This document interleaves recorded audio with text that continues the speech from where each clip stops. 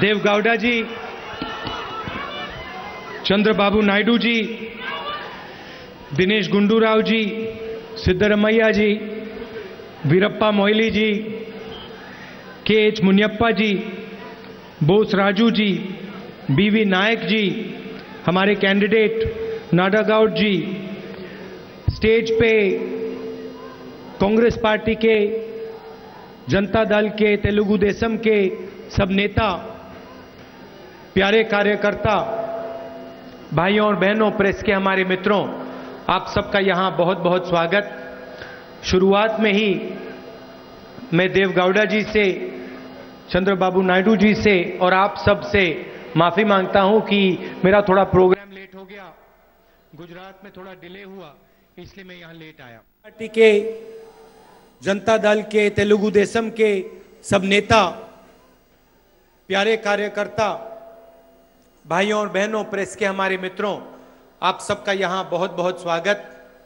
शुरुआत में ही मैं देव गौड़ा जी से और दूसरी तरफ़ अन्याय, झूठ, नफरत। पाँच साल से नरेंद्र मोदी, जहाँ भी जाते हैं, वायदा कर जाते हैं। देखिए, चौकीदार, जहाँ भी जाते हैं नरेंद्र मोदी कुछ ना कुछ झूठा वायदा कराते हैं। पंद्रह लाख रुपए हर बैंक अकाउंट में मैं डाल के दिखा दूँगा। प्रधानमंत्री बनाओ, हर बैंक अकाउंट में पंद्रह लाख रुपए डाल के नरेंद्र मोदी दिखाएगा। मिल गए आपको पंद्रह लाख? मिल गया? एक रुपया तक नहीं दिया। अनिल अंबानी को, मेहुल चौकसी को लाखों करोड़ रुपए दिए। मगर कर्नाटक के युवाओं को, किसानों को, मजदूरों को बैंक अकाउंट में एक रुपया नहीं दिया। इसीलिए हमने नई योजना बनाने का सोचा है। योजना का नाम न्याय योजना, जो नरेंद्र मोदी जी ने पिछले पाँच साल गरीबों के साथ अन्याय किया, उसके लिए हम न्याय योजना लाए हैं। मैं आपको न्याय योजना के बारे में थोड़ा सा बताना चाहता हूँ। 20 प्रतिशत सबसे गरीब परिवारों को 2019 के चुनाव के खत्म होने के एकदम बाद कांग्रेस पार्टी साल के बहत्तर हज़ार रुपए सीधा बैंक अकाउंट में डाल के देगी। नरेंद्र मोदी जी ने 15 लाख बोला था, झूठ था। सच्चाई है, तीन लाख साठ हज़ार रुपए। पाँच करोड़ लोगों के बैंक अकाउंट में हिंदुस्तान की सरकार डाल सकती है और हम डाल के दिखा देंगे। आप सोचिए, पैसे की कोई कमी नहीं। चुनाव हुआ, कर्नाटक में चुनाव हुआ, मध्य प्रदेश, छत्तीसगढ़, राजस्थान में चुनाव हुआ। और हमने कहा, देखिए, किसानों के सामने बहुत बड़ी मुश्किलें हैं। जहाँ भी कांग्रेस पार्टी की सरकार बनेगी, हम किसान का कर्जा माफ़ करके दे देंगे। कर्नाटक में कहा, पंजाब में कहा, मध्य प्रदेश, राजस्थान और छत्तीसगढ़ में कहा। और मैं खुशी से कहता हूँ कि कर्नाटक की सरकार ने चालीस हज़ार करोड़ रुपए किसानों का कर्जा माफ़ किया है। मध्य प्रदेश, छत्तीसगढ़, राजस्थान में मैंने कहा, दस दिन के अंदर इन तीन स्टेट्स के सब किसानों का कर्जा माफ़ हो जाएगा। चुनाव हुआ, दस दिन नहीं लगे, दो दिन के अंदर हमने सब किसानों का कर्जा माफ़ कर दिया। हमने कर्जा माफ़ किया, उससे पहले नरेंद्र मोदी जी कहते हैं, पैसा कहाँ से आएगा? जब भी हम गरीबों के लिए काम करने की सोचते हैं, चौकीदार कहता है, पैसा कहाँ से आएगा? मगर जब अनिल अंबानी तीस हज़ार करोड़ रुपए राफेल मामले में चोरी कर लेता है तो फिर चौकीदार यह नहीं पूछता कि पैसा कहाँ से आया? मेहुल चौकसी पैंतीस हज़ार करोड़ ले जाता है, चौकीदार यह नहीं पूछता पैसा कहाँ से आएगा। मगर अगर गरीबों को पैसा देना होता है तो चौकीदार एकदम पूछता है, पैसा कहाँ से आएगा? हमने नरेंद्र मोदी को, चौकीदार को दिखा दिया कि कर्नाटक के किसान का कर्जा माफ़ करने का पैसा कहाँ से आएगा? हमने दिखा दिया मध्य प्रदेश, छत्तीसगढ़, राजस्थान में। कि दो दिन के अंदर किसानों का कर्जा माफ़ हो सकता है। नरेंद्र मोदी जी, मैं आपको बताता हूँ, पैसा कहाँ से आएगा? पैसा मिडिल क्लास से नहीं आएगा। पैसा अनिल अंबानी जैसे चोरों की जेब से आएगा। नीरव मोदी, मेहुल चौकसी, ललित मोदी, विजय माल्या जैसे चोरों की जेब से हम पैसा निकाल निकाल कर हिंदुस्तान के गरीब लोगों के बैंक अकाउंट में डालेंगे। आप देखना। जैसे हमने बहत्तर हज़ार करोड़ रुपए यूपीए के समय किसान का कर्जा माफ़ किया था।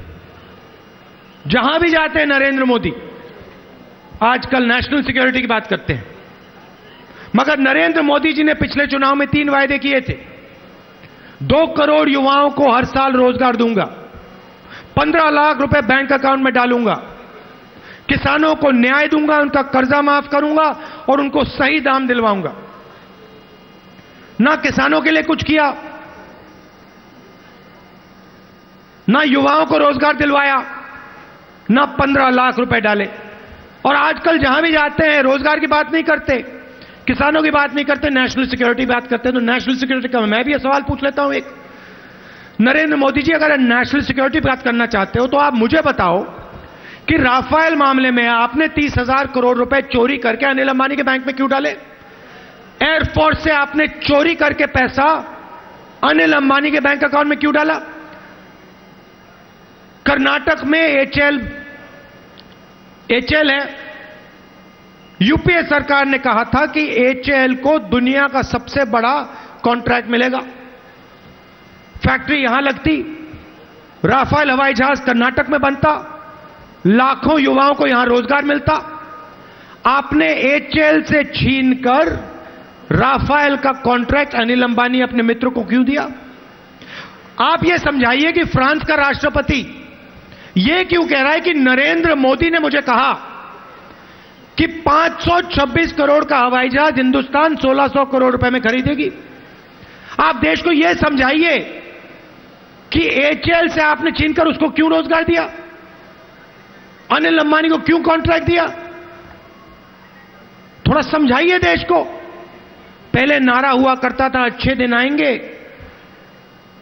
अब नया नारा चला है, चौकीदार।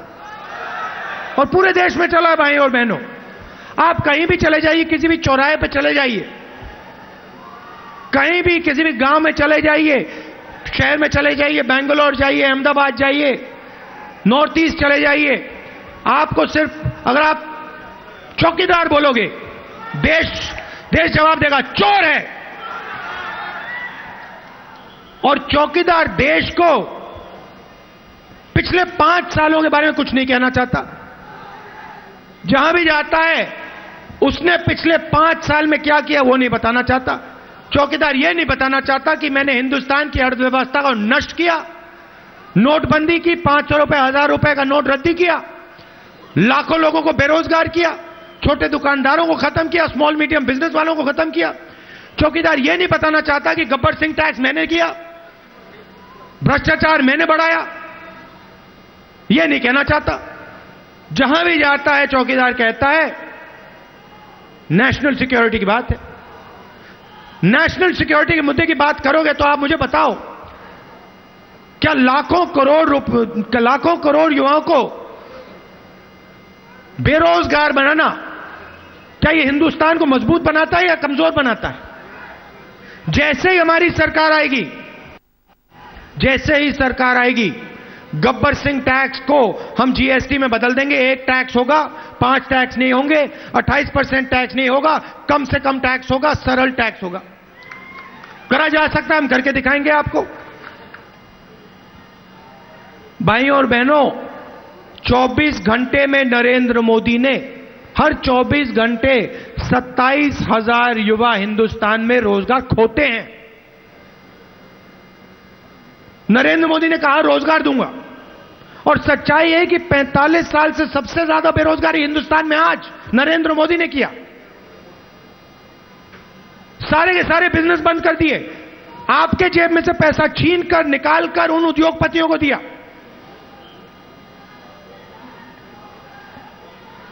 आज अनिल अंबानी मज़े कर रहा है। नीरव मोदी लंदन में, मेहुल चौकसी लंदन में, विजय मालिया लंदन में।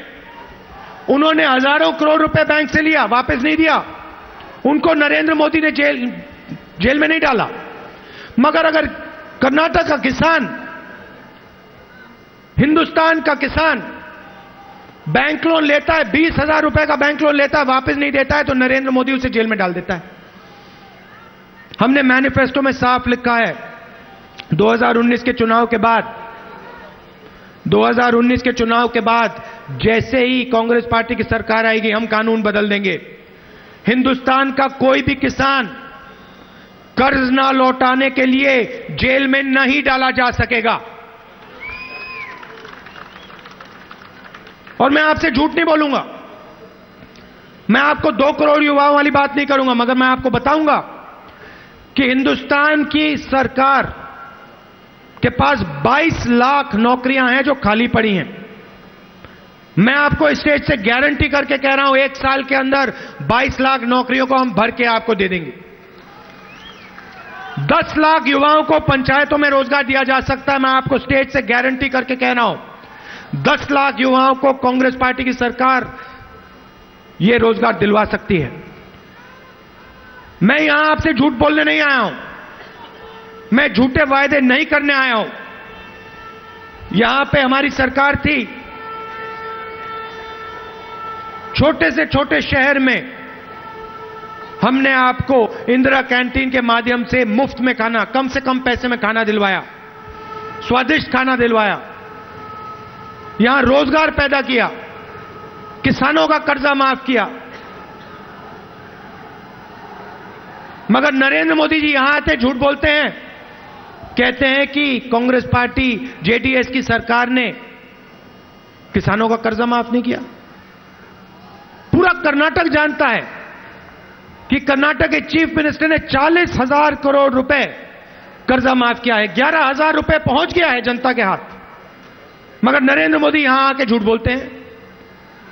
नरेंद्र मोदी जी को समझाना है कि पिछले पाँच सालों में उन्होंने क्या किया? कितना रोज़गार पैदा किया? कितने किसानों की मदद की? और जनता के बैंक अकाउंट में कितना पैसा डाला? उसका जवाब नरेंद्र मोदी नहीं दे सकते, क्योंकि उसका जवाब है ही नहीं। बोल नहीं सकते वो। और जहाँ जाते हैं के बाद एक झूठ बोलते रहते हैं, झूठ बोलते रहते हैं। इस बार जनता ने निर्णय ले लिया है। 2019 में कांग्रेस पार्टी, कर्नाटक में कांग्रेस पार्टी और जनता दल, आंध्र प्रदेश में नायडू जी और पूरे देश में जो बीजेपी के खिलाफ लड़ रहे हैं, उनकी जीत होने वाली है। नरेंद्र मोदी जी को दिल्ली से हटाया जाएगा। जनता ने तय कर लिया है। मैं आपको बता रहा हूँ, गुजरात की जनता ने तय कर लिया है। आज मैं गुजरात से आया हूँ। गुजरात में कांग्रेस पार्टी के लिए अंडर करंट है। गुजरात में लोग कह रहे हैं कि नरेंद्र मोदी ने देश को छोड़ो। गुजरात की जनता कह रही है, देश को छोड़ो। नरेंद्र मोदी जी ने तो हमारे लिए गुजरात में कुछ नहीं किया। हमारी ज़मीन अदानी जी को पकड़ाई। लाखों एकड़ ज़मीन मुफ़्त में सबसे बड़े बिज़नेस वालों को दी। गुजरात के लोग कह रहे हैं। तो मैं आपको आश्वासन देना चाहता हूँ, कांग्रेस के कार्यकर्ता को आश्वासन देना चाहता हूँ कि यहाँ पे जनता दल और कांग्रेस पार्टी की जीत होने वाली है और दिल्ली में कांग्रेस पार्टी की सरकार बनने वाली है। एक बार फिर मैं आपसे माफ़ी मांगना चाहता हूँ। मेरा प्रोग्राम थोड़ा लेट हुआ। इसके लिए आपको कष्ट हुआ माफी मांगना चाहता हूं और आपका दिल से धन्यवाद करना चाहता हूं कि आप इतने दूर से मेरी बात सुनने आए धन्यवाद नमस्कार जय हिंद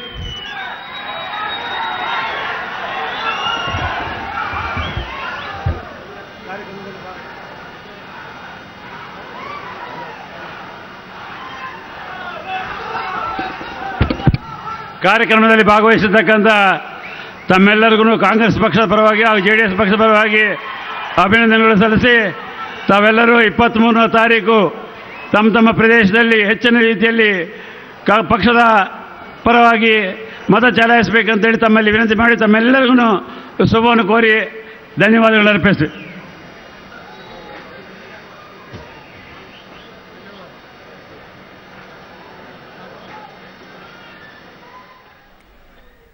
ಎಸ್, ರಾಹುಲ್ ಗಾಂಧಿ ಅವರ ಭಾಷಣವನ್ನ ಕೇಳಿಸ್ಕೊಂಡ್ರೆ ನೀವು ಕೂಡ ಐದು ವರ್ಷದಿಂದ ಪ್ರಧಾನಿ ನರೇಂದ್ರ ಮೋದಿ ಅವರು ಬರೀ ಸುಳ್ಳು ಆಶ್ವಾಸನೆಗಳನ್ನ ಕೊಡ್ತಾನೆ ಬಂದಿದ್ದಾರೆ. ಐದು ವರ್ಷದಲ್ಲಿ ಅವರ ಆಡಳಿತ ನಿಮ್ಗೇನು ಸಿಕ್ಕಿದೆ?